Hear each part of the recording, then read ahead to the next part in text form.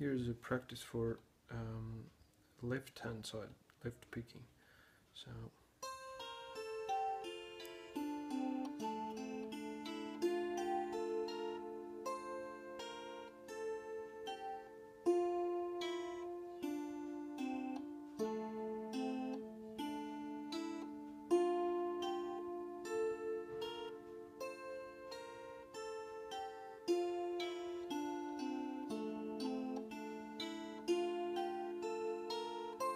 after picking with the left hand, Mhm. the finger goes back. It doesn't Yeah, it has stay to up. has to keep the, his position.